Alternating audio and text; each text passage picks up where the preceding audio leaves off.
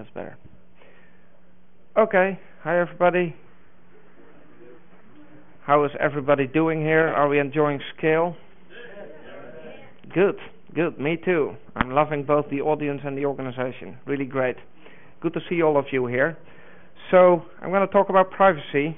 My name is Jos Poortvliet. I'm Dutch. Uh, I wasn't born there, but my uh, parents were. Nice farm in the southwest of the Netherlands, one of the islands, uh, Zeeland called for a reason like that, as you probably can imagine. Um, I've been around open source for about a dozen years now. Uh, first being involved in the KDE community, uh, later OpenSUSE, and now OwnCloud. So today I'm going to talk about all the good stuff of the cloud. Um, I'm going to talk about the slightly less good part of the cloud, which has a little bit to do with things like security, privacy, and owning your data. Um, and then we're going to talk about what you can do to, well, keep your data your own, how to protect your privacy.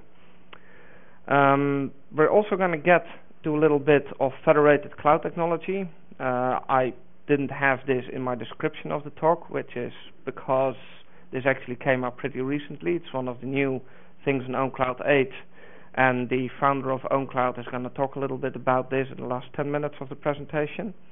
If you have questions at any point in time, please just wave at me, interrupt, jump around, get my attention one way or another.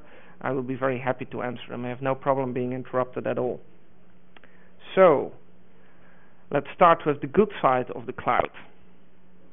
So, I don't think I need to tell you too much about this, right? I mean, I'm pretty sure most of you here use one or another cloud service here or there and the cloud is really awesome. Um, I mean, the big boys like these big companies, Google, Microsoft, Apple, they've built some pretty awesome service. I know that with the new Mac OS X, and you know, if you have an iPhone, you start typing a uh, SMS on your phone, you come home, you can continue on the same text message on your laptop, you click on send, it gets sent. And this is the kind of stuff that is super convenient and it helps us out literally every day. Uh, we share files with one another. If you if your Android phone gets stolen, you know, do you lose all your data? No, you don't, because it's all on the cloud. And the next an Android phone you have, you log in, and you know you have all your files there. And you go to like you know the App Store, and it says, oh, you know, you want to reinstall all your apps? Yeah, sure, go ahead, bang, you're back up and running. I mean, this is stuff that's genuinely useful, and we all use this every day, private and at our companies. So this is cool, and I don't want to diss this because this is stuff, you know, we all care about, right? Now, so it makes your data accessible everywhere, as I just said. Google, you know, eh, but you play games online, right? All our data goes online. Your files, your contacts, your calendar. You know, you chat with people online, um, documents you share with others. It's even free or very cheap. Now, when you're talking about stuff that's free or very cheap, you know, you got to think like somebody got to pay for this stuff somewhere, right? And there's this this rule that says if you are not paying for something, you're not the customer, you're the product. And this is something I think a lot of us don't realize day to day. But there's a bad side to the cloud. Now, ask yourself these questions: Where is my stuff? You know, who owns it? Actually, do we still own it? I mean, if it's on somebody else's server, I mean, who reads the terms of service, right? There's even this beautiful website, terms of service didn't read. You know, there's, there's there are people who actually read terms of service for you and rate them. Something you should check out, by the way. You can Google this. But there there is a problem here. I mean, who has access to this stuff? How is it being used by other people? Uh, sometimes people get an outrage about you know new rules from Facebook and from Tumblr and from you know Snapchat and but in the end, it's not like you have a choice. So in the end, you end up using these services anyway. What do they do with it? Uh, the thing is, why it matters. This is a question of privacy. Privacy is important. So I'm gonna I'm gonna spend a couple of slides on on why it matters. Now a lot of people say, you know, you must have heard this or seen this or even thought this, you know, you've got nothing to hide. Now the thing is, this is not something that gets at the core of privacy. To put it mildly, there's more to privacy as having something to hide. So I'm going to argue, first of all, that you do have something to hide. And if you didn't, you should. And again, it's not even the point of privacy. Privacy is not about hiding things. It's a pretty fundamental need of people. So so let's let's talk about this for a second. You do have something to hide. And I mean, it's not stuff that's that's terribly bad or illegal. I mean, there is so much in terms of rules and regulations. There are 27,000 pages of federal statutes and 10,000 administrative regulations in the US. How sure are you that you're not breaking at least a dozen of them? Probably a few dozen. I mean, you are. That's that is just pretty certain. If if somebody would know everything about you, every step you take, if they, if somebody would know all of that and they had the authority to put you in jail for breaking any of these regulations, they could at any single point in time. They could lock you up legally because you did something wrong without even knowing there was a rule anywhere near the thing that you just did wrong. I mean, there there is silly stuff like possessing a live lobster. There are states in the U.S. where this is illegal, right? I mean, how do you even get those things to the store without possessing them at some point, right? There are really silly rules. It's I believe it's Chicago where it's cur- no Washington. It's illegal to be smelly in Washington. Who judges that? What is being smelly? Using too much perfume? I mean, it's used to keep homeless people out of places where they don't want them. But you can use this for other stuff, can't you? Right? I mean, you use deodorant. Oh, you're smelly. But uh, there will always be a way to abuse rules. Rules aren't just everywhere and they're spreading crazy. But the problem is also how do you interpret them? I mean, that's what lawyers do, and if you ever ask a lawyer, can I do X, the lawyer won't even answer it. They'll tell you, well, there is some risk associated. Of course there is. And it might be an alien invasion. You can't even get answers on these questions when you need them. There's a problem there, folks. And if somebody, again, knows everything about you, they'll be able to find something against you. So, normally we have privacy that protects us, unless there's a good reason for police, for any authority to investigate you, they can't. That means if you did something really minor wrong at some point in your life, but there was no reason for them to look into you at that time, it won't come and haunt you later on. Privacy protects you from that. Well, it doesn't, not anymore, because all this stuff is getting online. What you did as a kid, oh, I'm sure anyone in the room here did something illegal when they were a kid. Will it ever come back to haunt you? No, it won't.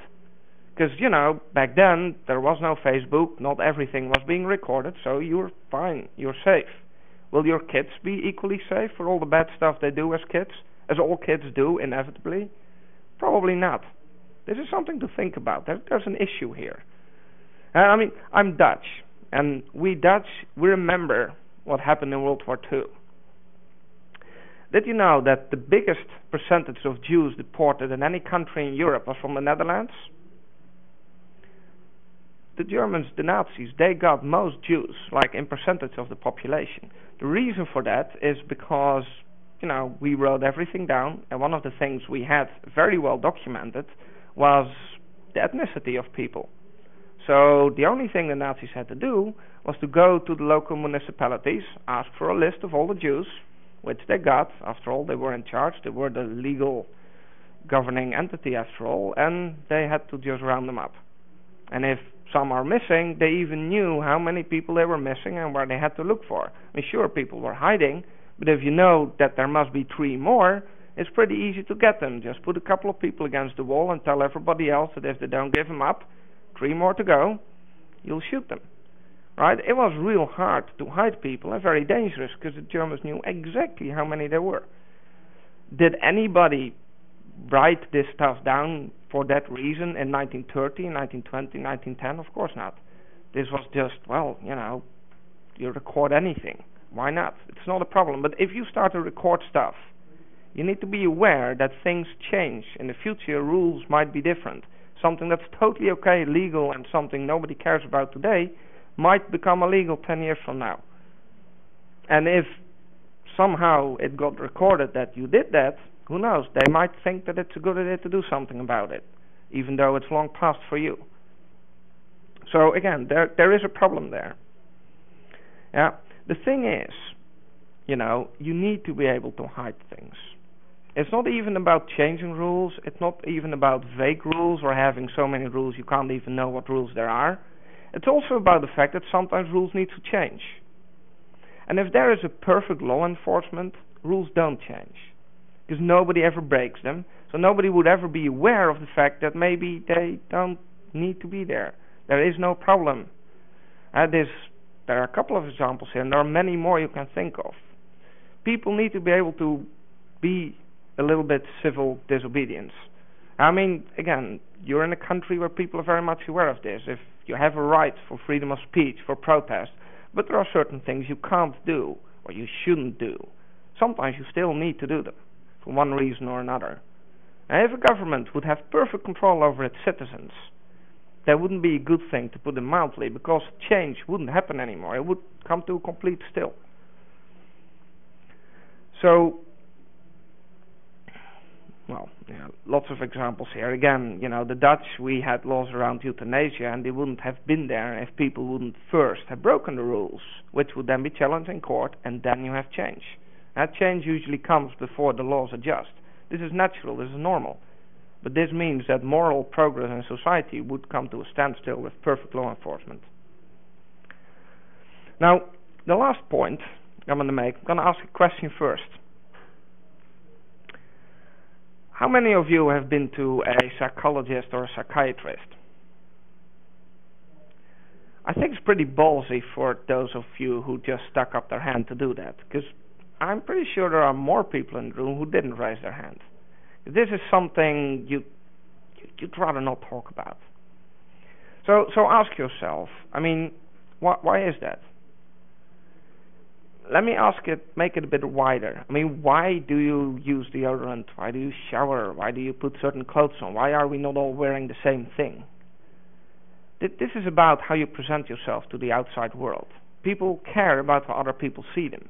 I mean, you don't think about this naturally, but uh, seriously, at every point in the day, you are presenting a certain face to other people around you. For some people, there's a big gap between you know what they think who they are and what they present to the world like in your work when soliciting for a job when you're out on a date you know the gap is a little bit bigger between reality and what you present. In other moments maybe it's smaller when you're with your spouse at home. But there's always you know some matter of you caring about how other people see you. You see the link to privacy? This is about presenting who you are eh, both online and in real life.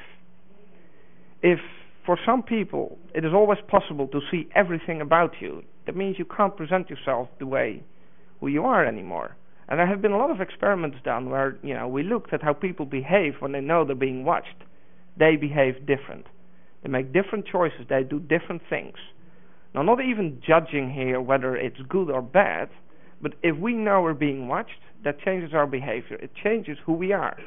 It changes what you do, the choices you make people are not free if they're being watched. I think this is a very fundamental thing. And again, it's something you don't really realize, but all these cameras they're putting up everywhere, they're changing how we behave. Not not not do, not talking about doing bad things. I mean, yeah, you won't steal if someone is watching you, you know, if a cop is watching. But it's not just that. It really changes what you do. You know you're being seen. You know you make an impression, and thus you make different choices. It's part of being human that we can present ourselves the way we want. And violation of privacy take that away from us. And I think it's a really fundamental thing that we should care about. Okay, so I hope I have kind of given you an idea of why privacy is important. Yeah? I mean, you have, you should have, and you need something to hide. It's a fundamental human thing. So and, and the key is here, if privacy is being eroded in society, whose privacy is being eroded? Who gets hurt? Big companies. Do they have a problem protecting their privacy? They don't. Right? I mean, Microsoft, the things they do that they don't want to be public, they won't be public. They got the resources to hide the things that they want to hide. And this goes for any big company. Same with governments. Governments aren't harmed if you hang up cameras everywhere if if you know police will do something they're not supposed to do and there are cameras everywhere these don't don't you know that that data will get lost one way or another? They can protect themselves. Normal people can't. Grassroots political organizations can't. Yeah?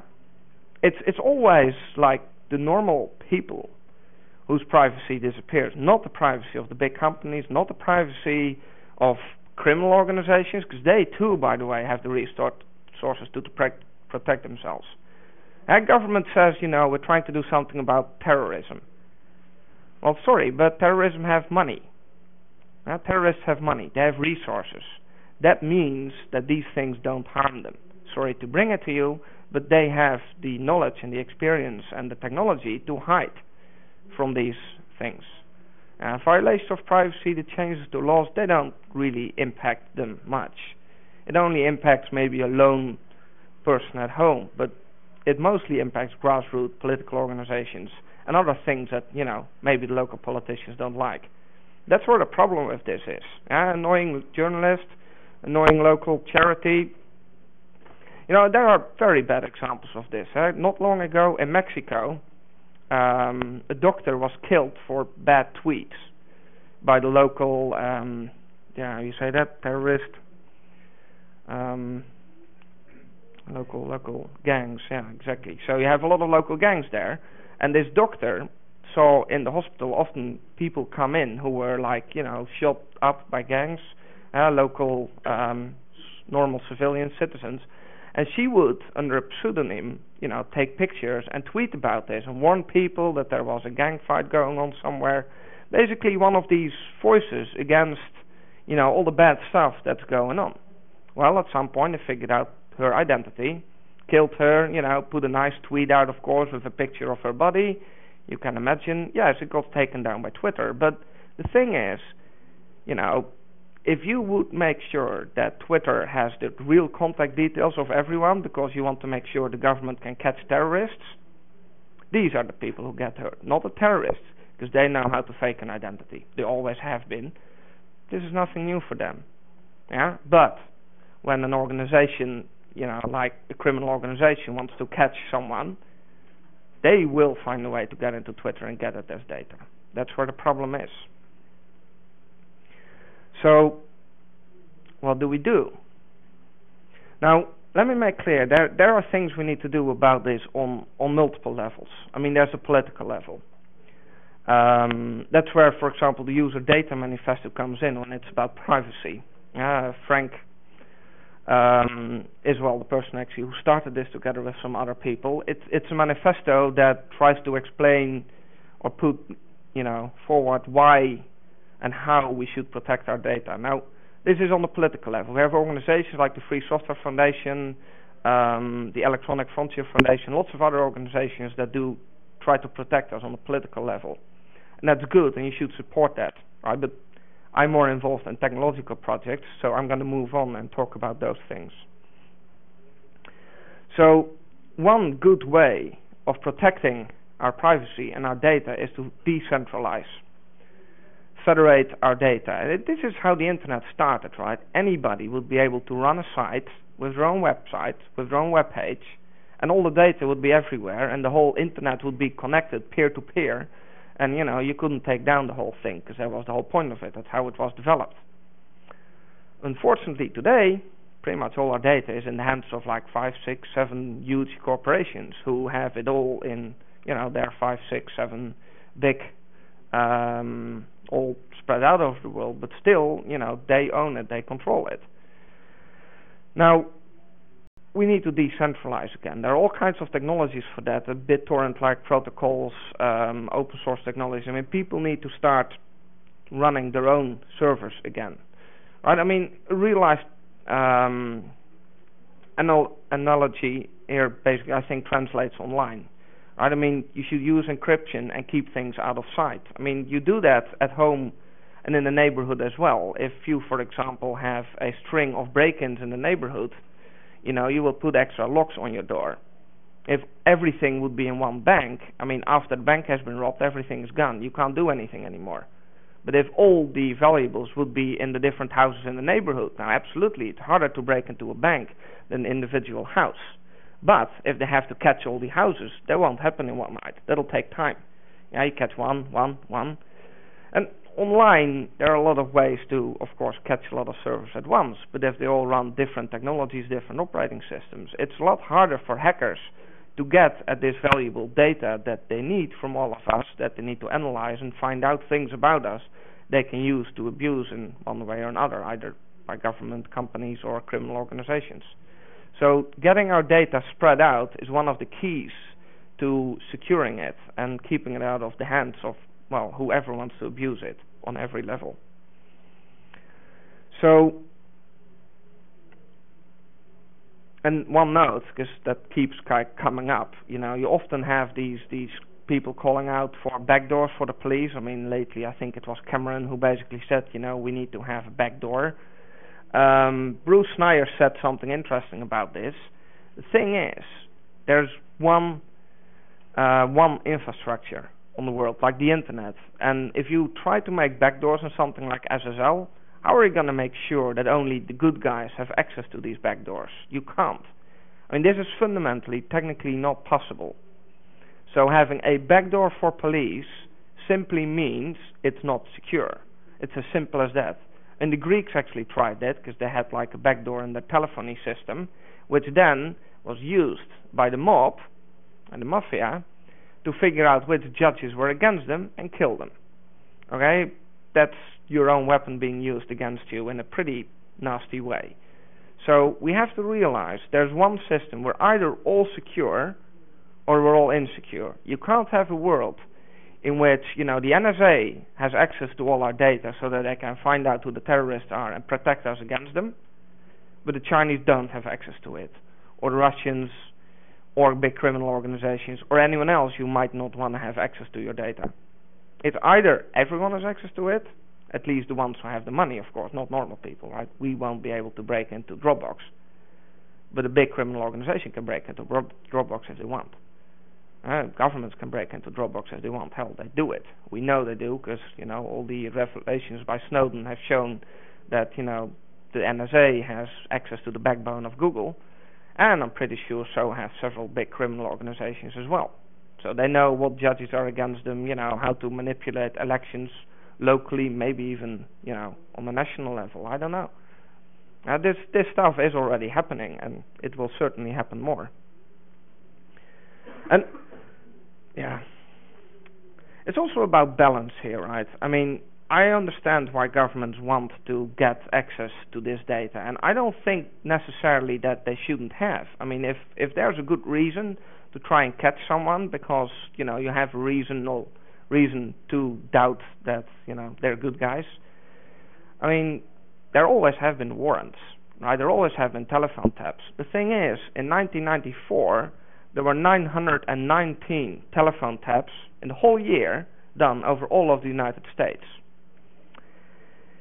In 2008, I believe there was an arsonist active in Berlin.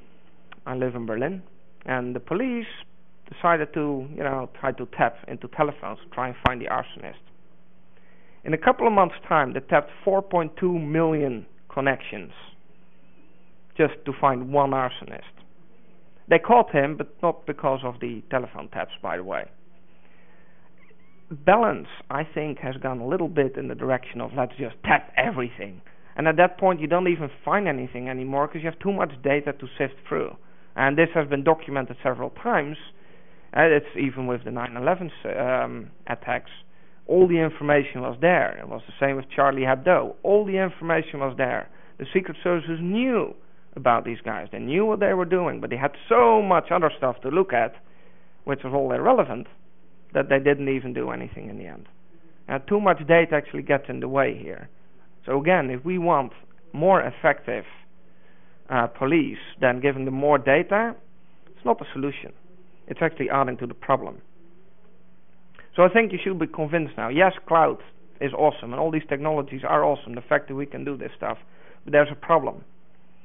Yeah, privacy is being eroded, and it's not helping anything in the right direction. Right? If we were paying this price and actually getting something back, well, you can at least have a discussion about it. But that's not the case. Certainly not. So we need decentralization. I already talked about that. What do we need? It needs to be decentralized. It needs to be, you know, separated. People need to be able to run it themselves. So this is where OwnCloud comes in. It's just one solution. There are many other technologies out there, and I don't want to say this is the only one. But this is what I know, what I can talk about, so I will. So the core of OwnCloud is syncing and sharing files, syncing and sharing data. Doesn't have to be files per se. There's a whole bunch of other things you can sync and share, like contacts, calendars, um, mail, and other things. But this is at the core of it. And it takes more boxes. It's open source. Any technology needs to, well, if you want to run it at home, you need to own it. You need to make sure that it does what you think it does. It can only be done with open source. Any solution to the problem of privacy needs to be open source. Any solution needs to be easy to use. If it's not easy to use, then what are you getting? Uh, you, you, you're going to have to put in extra effort just to be able to use it. If something is not as easy to use as Dropbox or Google Drive, you're not really gaining anything because people won't want to use it. After all, the cloud is easy, the cloud is nice. That's why we use it. That's for good reason. It helps us in our lives. It makes our lives easier. Well, it should. I mean, you shouldn't accept solutions that make things harder because maybe you do. You're willing to make a compromise, but most other people won't. And you have to realize that if all of us would be using OwnCloud here, and everybody who uses Linux would use OwnCloud, and everybody who even is at home at technology would use OwnCloud, that's still a couple of percent of the population, and it still wouldn't help anything. So any solution needs to be easy to use for everybody, not just for technical people. I'm not saying we are there with OwnCloud, but it's very important for us to be super easy to use and super easy to deploy, and we're working on making it more easy because this is very core to the problem. It needs to be easy. It needs to actually help people move forward. So, OwnCloud, well, 1.8 million, the number keeps going up. I think uh, we're now usually thinking we're over 2 million users. Hard to say, of course, because it's open source. Anyone can download it, run it at home. But there are a lot of users of OwnCloud already. You're in good company. Now, it's cross-platform. So OwnCloud itself ideally runs on a Linux uh, system, at least I think that's the best place to run it on. But if you really want, you can run it on Windows and Apple as well. You'll just be in less well-supported waters. Um, so it has synchronization apps. So when you run OwnCloud on a server and you put your data there, you also want to be able to access it. Now for that you have a web interface, but you also have clients like a mobile client for Android, mobile client for iOS, and these two are all open source by the way, which in case of iOS is a little bit difficult because Apple doesn't really like open source, so we had to do some licensing tricks, but it is open source. You can contribute to it if you want. Now, there are also third-party applications. Uh, I think there's one for Jolla, there's uh, an app also for Firefox OS. So, you know, as a community, we try to support as much as possible. Um, one of the cool things about OwnCloud is not just that it's multi-platform, but also that it has external storage. So you don't actually have to put all your data in OwnCloud itself. You can leave it where it is. So if you already have a NAS at home, if you have, uh, if you run an FTP server at work, these things you can actually mount this data in OwnCloud. So you keep the data where it is, but you access it via OwnCloud, have it then available via the web interface. You can share it with other people while the data stays where it is. Only when you need it, you know, from your laptop, it goes via OwnCloud to your laptop. All of this, of course, secured by SSL and other encryptions. Um, cool thing is, um, there's also Dropbox support for external storage. So if you still have Dropbox or Google Drive and a lot of data on it, you can mount it in OwnCloud. Now, of course, the reason why Google and other parties can offer you so much data storage for free is because they're snooping at it and looking at it and you know indexing it. Well, there's an encryption app for OwnCloud, which will essentially encrypt all the files that go then to these cloud services, which gives you the security that you need, and well, it costs them money, I suppose. Tough luck. So, yeah, it has all the, the easy things, right? I mean, I'm going to guess most of you are aware of like how these nice cloud technologies work. If you have, you know, pictures, you put them in a folder, you can share the folder with other people, they get a nice gallery, they can download the pictures you know, you can even give people a link where they can upload files as well. Um, all the good stuff. Then, it's easy to use. I mean, as I said, it just uses Linux, uh, or it can be run on pretty much any Linux with Apache MySQL PHP, but also people run it on Nginx and other uh, web servers. Uh, it's pretty easy relatively speaking, to hack on or to look at the code and check it because it's PHP with the usual HTML, CSS, and JavaScript. um, available from all the platforms as we mentioned. And one of the cool things about it is it scales very well. So there are people running it on a Raspberry Pi. I would personally say use the Raspberry Pi 2 because in terms of performance, the older model is really well depends on who you talk to. They will say that it's just good enough or just not good enough. But the new one is basically plenty for you know a home user. Connect a couple of hard drives via USB and you're pretty much good to go. But it scales. Like one of the users of OwnCloud is CERN. You know the guys smashing atoms there in Switzerland. They have pretty large amounts of data there, like terabytes, petabytes. It works for them. Now we have cloud deployments in, in Germany. I believe there's a 500,000 uh, user cloud deployment. It works for them as well. So there is scaling abilities where you need it. And I think that's pretty important. Now, another thing that's really cool is that OwnCloud is a platform you can build on. Uh, it's very modular. The core of OwnCloud is pretty small. Even sharing, which is pretty core to what OwnCloud is, is implemented as an app. So it's actually separate functionality. Um, there are over 200 different apps available, and like per week, seven to 10 apps are updated. So there's a lot of activity of people developing apps, improving apps, updating them, adding functionality and features. Um, I mean, of course, when you say 200, you have to realize this is apps, as in typically a lot of them are not that good or maybe outdated. But there are some real gems out there, uh, things like gallery, um, music players, video players, video streaming also, uh, note-taking apps. There's some really good stuff. I'll, I'll, get to some examples later on. And they get a lot of downloads as well. I mean, the top 10 uh, has somewhere between 12,000 and 28,000 downloads. So a lot of people are actually downloading and installing these apps and using them which is good. But of course, in the end, the central point is you own it. Now, OwnCloud is open source under the AGPL license, so it's fully open. All the development happens on GitHub. Um, that gives you the ownership and the security that you need to know that your data is yours and stays yours. I think that's really important. Now, OwnCloud Inc. Um, company active in the OwnCloud community develops, of course, features and functionality that its customers want.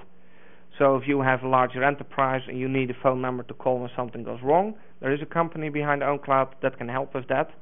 But for a lot of use cases, the you know the open source is perfectly fine. And I think that's important as well. So it's a very open, healthy project. We have somewhere between 80 and 100 people contribute to OwnCloud each month that's big. That puts us in uh, the top 1 or 2% of open source projects. Uh, we've had over 700 people contribute to OwnCloud over its five years lifetime. So it's a very healthy, active project. And of course, we welcome more people to help out and you know make OwnCloud better. Uh, we're just, by the way, five years old. and we had our uh, anniversary like three weeks ago. So, yay for that. Now, I'm going to go through a couple of screenshots to give you an idea of OwnCloud. However, if you have any questions, this is also a very nice time to shoot them at me. Yes?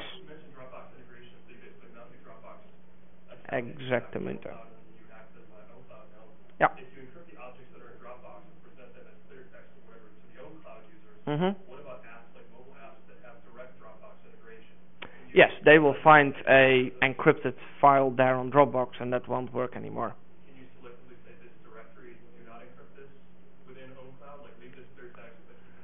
That's a good question. I don't think so at the moment. No, not at the moment.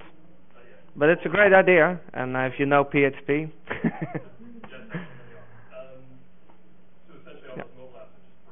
Yes, yes. I mean, if you turn on encryption, then you know you can't. Well, you can still get at the underlying storage, but it's encrypted, so there's not much point to that anymore.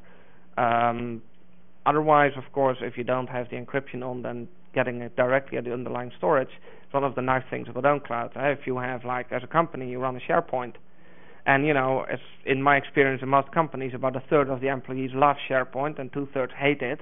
Well, for those who hate it, you can have OwnCloud as a layer on top, and they can use OwnCloud, which provides probably an easier to use, a more familiar user interface, while the guys and girls who prefer to use SharePoint directly can keep using it.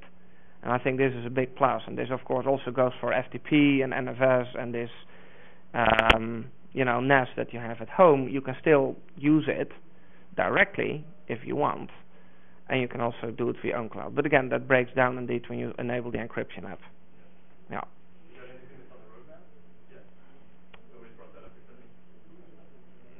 Yeah, you say yes. I mean, well, yeah, roadmap. No, I don't think anybody is planning on doing this, but it is definitely a feature. Uh, I'm sure it's already like as a feature request in GitHub. Let me put it that way.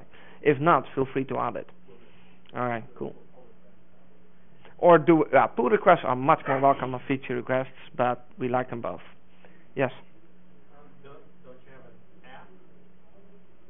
Own cloud app, wouldn't it go to your own cloud server Yes. So we have an iOS and Android app. Yes. Yes, but yes, indeed. So so OwnCloud also provides an API. So if those applications would uh, support the OwnCloud API, then you don't have this problem either.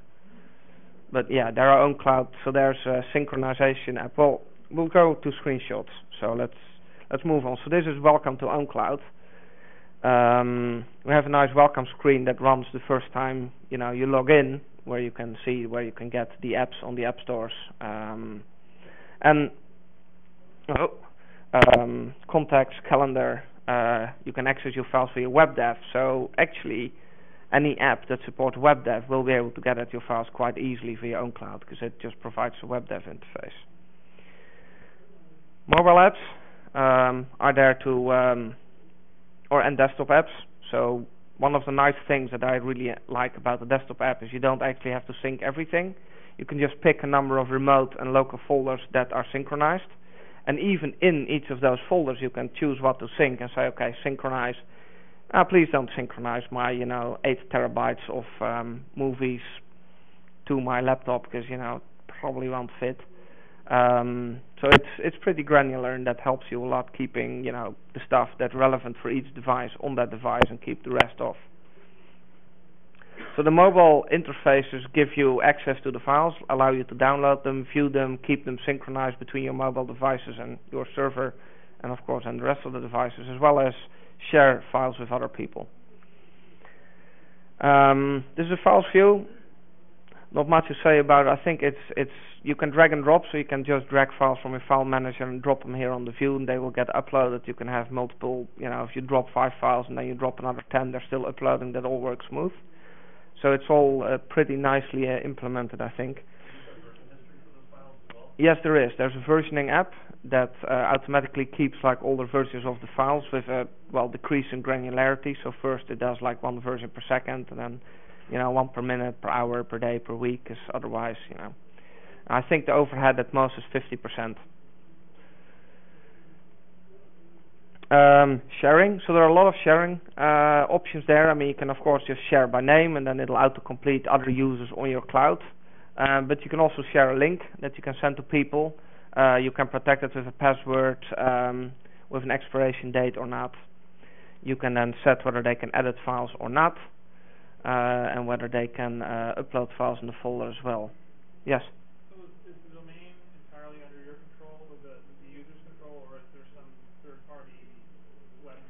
No. No, no, it's it's on your own. Uh, I mean, yeah, we made secretcloud.com here up, but you would run it on your own server. Yes, yes, it's entirely self-hosted. Of course, there are also other ways of getting it on cloud. Uh, there are a lot of companies that actually provide hosted OwnCloud. Uh, there are about 40, 50 providers out there actually. So if you don't want to run it at home and you don't want to manage it yourself on a VPS, then actually you can also simply use well OwnCloud as a service. Of course, you know this decentralizes less nicely than when you do it at home. On the other hand, these providers probably know more about security than you do, so there is a bit of a trade-off there. I think it wouldn't be necessarily bad if everybody would run OwnCloud at a hosted provider they know and trust. Uh, there are first of all countries that actually have decent privacy laws where you know the owner of a hosting company would actually go to jail for trying to sell your data instead of going to jail for not trying to make enough money on your data. Um, and of course, I know even in Berlin, I sometimes have people come to me and ask, you know, do you know a hosting provider in Berlin? Because then I can go there and look them in the eyes and see whether I trust them or not. I think this is actually a good, you know, thing to separate things out and spread it out a bit, but still have people who know what they're doing keep an eye on security. So I don't think there's anything wrong with being hosted in the cloud per se. I think the problem lies with everyone being hosted by one of these five big providers. And that's where the problem is. Um, well, as an administrator, you can, you know, restrict the sharing or enforce that your users, let's say maybe your kids or your wife, have to set a password on every share to improve the security a little bit, or always set a default or mandatory expiration date. So this, you know, you can control basically how much uh, security you can enforce also on the users. Sorry? Um, no, but it does support, for example, LDAP, so you can do that uh, via a workaround that way. Well, there's a calendar app. I mean, what more can I say? It has all the basic functionality. Uh, CardDAV support, so it works natively with iOS, and for Android there are lots of third-party calendar apps. So the OwnCloud app doesn't duplicate that functionality. There are open source apps uh, that do that, so we didn't really feel it's worth the time to well, build another app that does calendar with CalDAV. Um, this is pretty cool actually. I like the uh, activity view. So basically what it does is it shows you like when somebody, you know, shared a file with you or when you did something. I mean, you can configure it to show and even send you emails when something happens on your cloud. And this is per user. So as a user, you can get a notification when somebody shares a file, file with you, you know, by mail, and you have this view where you can see, you know, what happened on your cloud. Um, so Pictures app, pretty neat. Music player, uh, password manager, documents editor. This is actually collaborative document editing. It's pretty cool. So with multiple people, you can edit the document together. Um, as you can see, this was for OwnCloud 7 already. Um, app has been slightly improved for OwnCloud 8. Always more room for improvement, but the point is there are a lot of apps out there, a lot of different things that you can do with uh, OwnCloud. Now, these are uh, available in different ways. So we kind of have levels of like how easy you can get an app. There are, are apps that uh, actually used to be bundled with OwnCloud, but that you now have to click on enable, and then they're automatically downloaded and installed in the OwnCloud App Store app. Um, there are apps that are developed by you know community members or other people that have been checked by our security team. Um, these are also installable with one click from the App Store. I mean, we even have I have people who come like and say like, you know, it's so hard to install apps from the App Store. I'm like, it's one click, but then they hadn't realized that that is actually an App Store because you just click on the button enable and the fact that it then downloads the app, installs it, and enables it is completely hidden away. What is harder to install are the apps from apps.owncloud.com. These are essentially unverified apps.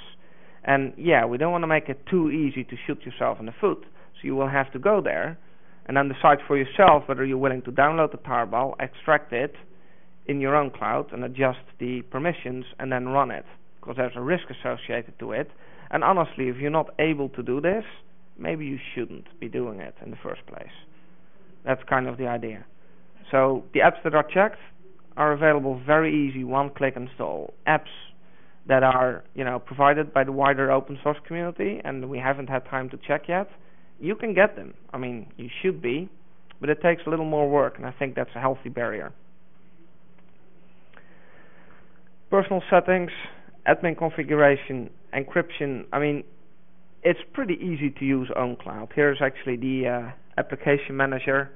Um, you know, apps have ratings. They show up uh, with these ratings also in the application manager. You see there's just a disable button that will disable the app. If there's an upgrade available, you will see it there as well.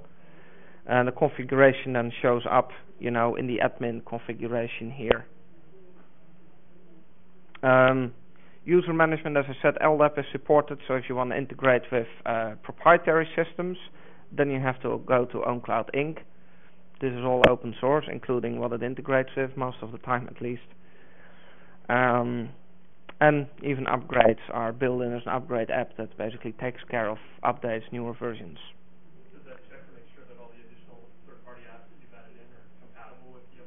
Yes, it upgrades them as well. I'm not saying it never goes wrong, because this is one of the things, you know, PHP, all these apps can just run. Uh, we're trying to improve the way the App Store and the app handling uh, works. Um, but overall, well, I haven't had any issues, and I have a bunch of weird apps installed. So, yeah. Is, is there a way that security updates will get installed? Yes, so this is the way security updates are installed, but major versions are also installed this way. Of course, and that's actually what I would recommend, there are also distribution packages available. We offer packages for all the major distributions and all the last major versions, and I would recommend to just use packages, because then there's a new version, do apt-get update or zypper ref or etc., and then you get your packages, and that's I think it's a better way than using this app, but you know, this of course works on your NAS and this works on your, you know, uh, VPS. Yes. For high availability, is there a way to have redundancy? Yeah, th so there are uh, a couple of companies that use um, this, and there are blogs out there that explain you how to set it with HA proxy and other tools to set up a cluster and, you know, share data and. Uh, already built into the system? Do they replicate like if you set up? Um, so no, I we don't want to duplicate stuff that already exists in an operating system level. So if you want to have like replication of files between different computers, then you should use something like cluster as or okay. file system that does that. Or oh, so you can have like closer in the background. Okay. Yeah, exactly. It, it's the same with backups, right? There's no backup tool built in OwnCloud, and OwnCloud is not a backup tool. It's a synchronization tool, and you know sometimes people think, well, you know, I have my files here and I have my files there, so that's kind of like a backup. Well, yeah, but if you delete your file here, it also gets deleted there, and that's not what a backup does, right? So be careful with this. It's the high availability can be handled the same way you handle any other web application. Exactly. Yes, that's the key there. Yeah. So, well, Frank already stood up. Uh, he's going to talk a little bit about a really cool and exciting feature of OwnCloud, which is federation. Um, that's what he talked about uh, last Friday at MIT, um, and I think this is really cool stuff. So here you go. Yes.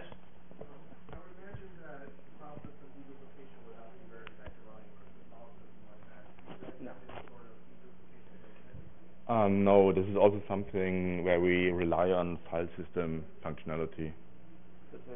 With uh, with encryption, yeah, uh, that's I understand. That some makes the amount of files that can be deduplicated like a bit, yeah, fewer. But uh, no, we don't have we don't have that. We usually use file systems functionality for that. Yes, yes. Yeah. Yeah. Yeah. No, no.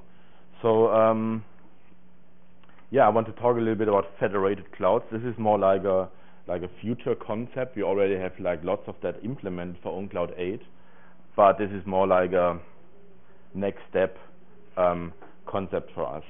Um, just first of all, I mean, Jos already did an awesome job with explaining what OwnCloud actually is and isn't, but just to remind everybody what we mean here with cloud file sync and share. So this is basically the idea is like, I don't know, there's a person here and there's a person here in Japan and one in Australia, and we have like a shared folder, and someone um, like synchronizes a file from their desktop to their to this folder, and then it appears on the shared folder on the other side of the world, and we can all nicely collaborate. Right? This is all how it works with Dropbox and Google Drive and all these other services. Right? This is like this is like file sync and share um, in the cloud, and there are different ways to do this. There is um, the first approach that we call like the first generation cloud, and it basically works like that. Right? There's, there's a centralized cloud in the middle, then we have all the users in the world basically connect to this one instance or to this one um, hosting center, depending what it is, and this company or whoever runs it in the middle sits like in the middle of the thing like a spider in the net. And this is like this centralized cloud, right? It's, as Jos explained, very nice because it's so easy to use it's very fast. It's just it's just easy. Um, but the problem here is, of course, that it has a few drawbacks. Right? It's very centralized. Then speed, you might wonder, hey, why is this a speed issue? Well, as Jos mentioned, we have people like like CERN who have petabytes of data, huge universities with lots of data. Well, if you have to synchronize your data to the other side of the world first, only because you want a shared folder with someone next door, um, and you can't use like the, the, the 10 gigabit or whatever network speed. You have to upload everything through the web or to the net. Um, then speed is an issue. Um, then cost, well, as you know, it's very cheap at the moment. But if you have lots of data, if you really have, want to synchronize terabytes and petabytes, well, probably not so much. data location, all the privacy, who knows about the backdoors here, all the problems. So this leads basically to the second generation, um, and this is basically what OwnCloud is today. So this is basically the idea that there can be lots of own clouds, right? This can be my own cloud at home, this can be own cloud at university, at a company somewhere, and we all have these different uh, individual cloud instances. This is very cool, right? It's very secure. You have your firewall around this. It's very, very nice. It's very flexible. You integrate with your existing user accounts. It's very fast. It's open source. Very cool. Um, the challenge here is, of course, well, if I use this here, this is my Raspberry Pi at home, and those are my family members, and then this is a university, there's another guy here, and we want to have a shared folder, as I explained at the beginning, this is not so easy, right? I mean, how can you actually share with someone on the other side of the world if they use different servers? That's the problem here. So the situation at the moment is that you basically have to compromise between easy sharing and great functionality and security. You can say, okay, every, all the data is like at home on my Raspberry Pi on my NAS, and it's very secure, but I can't really collaborate with my friends and family on other, other of the world. Or we upload everything to Dropbox in Google and we can collaborate, but we lose control over the data. That's the problem. And this is what we want to solve with what we call the third generation, where we have this concept called cloud federation or server-to-server -server sharing. So this means that actually this own cloud here can talk to this own cloud over there, and then we actually can have a shared folder. So that's the idea. So maybe I'm this user here, and well, here's my desktop, and I synchronize this documents folder up to my cloud, my, my Raspberry Pi at home, and this pushes basically data to this cloud over there, which might be, I don't know, a company where I work with, and then basically pushes it to one user to the desktop of this user. There are different servers, but we can work together as if there are one. That's the idea. Um, we introduced the basic feature, this basic feature in OwnCloud 7, and a more advanced version in 8 already. So this is very cool. But you might ask, hmm, okay, so if all the data is like flowing around here on the internet, what about security? I mean, why exactly is this then here better than that? Right? It's basically my files flowing around on the web, and who has control over it? Who knows, right? So why exactly is this better? Well, it is better because it is actually possible to define rules here. To basically say, okay, this is my company, and I decide that I define certain rules. Maybe I say, hmm, my employees, they can share data with all the other own clouds in the world, but not really if they are in North Korea. I don't like that. Or they can all share the data, but only if they're in a specific LDAP group, like the certified VIP LDAP group. Or only if it's like in the marketing folder, but not in the engineering folder. Or only Word files, but not PDFs, or whatever.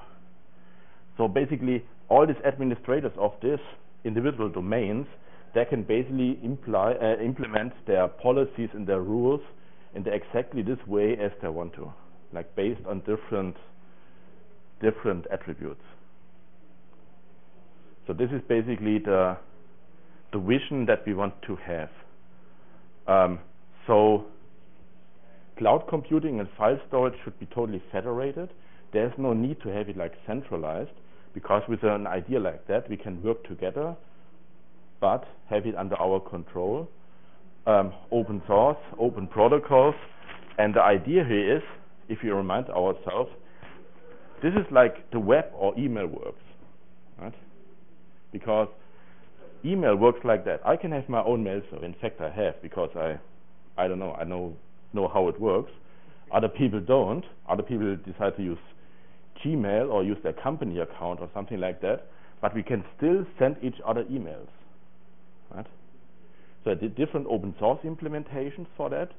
I can run it at home or rent it from a provider, but we are still can share and exchange data and send emails around. And I think this is exactly how it should work here too. So there is absolutely no technical reason to have one centralized like Dropbox system where all the files in the world are stored. There is no technical reason, there's only a business reason. So this is basically what we want to do, that we completely federate and distribute this, that everybody can decide, hey, I use a provider, I use a Raspberry Pi, I use my company-owned cloud, I use my university-owned cloud, and we can still work together. Um,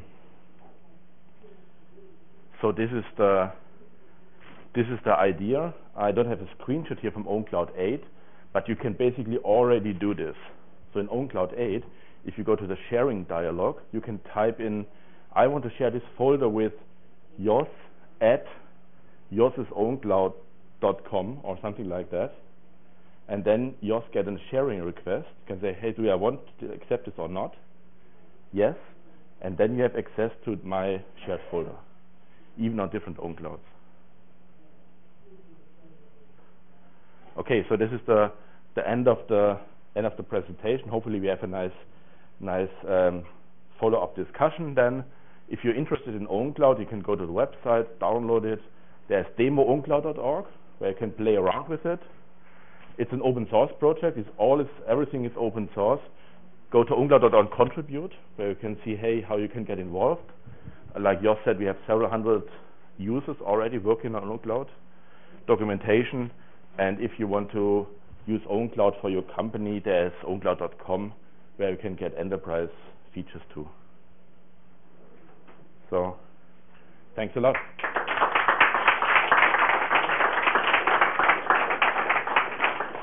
Any more questions?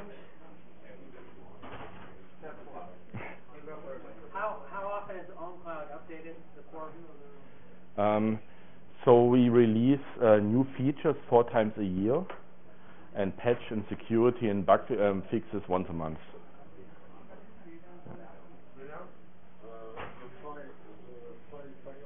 Yeah. um, they have to agree about if, if it's an in and out. It's basically an end, logical end. Right, and both sides have to allow the sharing request. Right? It's like, Yeah, if Yeah. to, uh, yeah, please, uh, post my MP3. yeah, exactly. Do you have um, any way to encrypt files, or you don't have, or, or can I get an app? So, so as as Jos maybe maybe uh, showed, we have server-side encryption. Um, this encryption is an interesting topic. Right? Encryption, there is no one solution that helps for in every scenario. So we have server-side encryption where it can be used as in a way that you have only encrypted files on like Dropbox or your FTP server or your whatever, but you still have to trust your server. It still has to be your server. Yeah, so server-side encryption doesn't really help you if you can't trust the server. Then Yep. you need to encrypt the files before you upload them to the server. But with server-side encryption, the files on the server are indeed encrypted. But the moment you access them via the web interface, you of course have to give your password, and the server needs to be able to decrypt them before it sends them to you. Otherwise, you wouldn't be able to download them or see them. And the thing is, the moment the server is encrypting them, if someone has access to the server, they could get the encryption key from the memory of the server. So the encryption app does protect you in case the server is turned off and someone is using the server. All the files will be encrypted on the server and no, they will not be able to read them. But the moment the server is running and they gain access to it, they will, if they're smart enough, be able to get the key. So server-side encryption cannot protect you if you can't trust the server. That, then you really need to do this locally. And there is simply at the moment no technology where you can have your cake and eat it too, where you can have a web interface, but still not trust the server. That's just currently technically not possible. So it, it helps a bit, but it doesn't fully protect you. Yeah, question, um, the, with the federation, Yeah. uh, is the federated data encrypted? Um, the connection, the, the connection is uh, done with uh, with HTTPS, Oh, okay. so SSL encrypted. Um, The server has Yeah. So there are two ways. There are two ways. Um, if the other server has a like a certificate which is trusted that it just works. If you have a self-signed one, then, it, then you can import it in OwnCloud. We have a nice web interface where you can manage like self-signed certificates from other parties that you collaborate with. Right, but it's an SSL tunnel. Yes. Yes.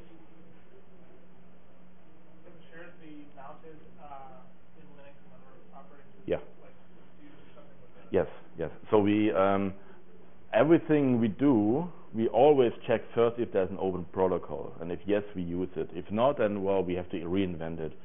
So which means all the file transfers uh, done with WebDAV, and there's a WebDAV fuse mount, so if you can directly mount it if you want. Yeah. And by the way, all the other stuff like sharing and, and creating users and so on, they are all command line tools for this too and REST APIs. So you can script everything. You can all do this without a u- uh, uh, user interface if you want.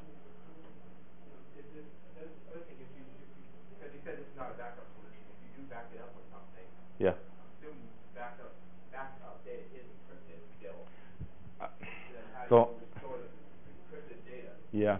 So I mean, OwnCloud is not really done as a backup solution. I mean, you can still do it. I mean, you can mount it via WebDAV, and you can like move all your data over there, and also enable encryption. This works.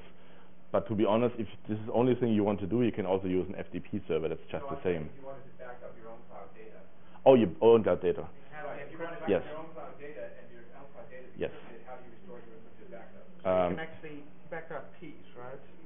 So Okay, so your encrypted key. So there's an encryption key. There's even a, a master encryption key that you can optionally enable.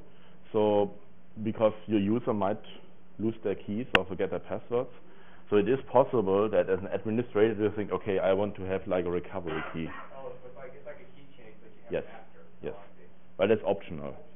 I mean, this is like you have to choose between the perfect security and the then you- but perfect still, usage. Like I said, you have to have some way to read back your encrypted backup Yeah. to restore it, Yeah, otherwise it's useless. Yeah, yeah. I mean, I mean, if you just back up your files and your keys together, then it's fine. I mean, yeah. The more questions? And the keys are encrypted as your password, right? Yes. Like, like, So the, like, the key is actually stored on our cloud, but it's encrypted again with your password. So if users have a very short password, right, right, right. the key is still very long. Oh, so it's almost like a, um, it's almost like a, uh public-private thing where you, you have a password Mhm. for your key. Yeah. You don't type it in. Yeah, yeah. In fact, internally we use a public-private key uh, pair because it, it's possible to share your files with others and both are encrypted. Right. So it's actually a very sophisticated key management thing. Oh, okay. Other questions? Okay. Thanks.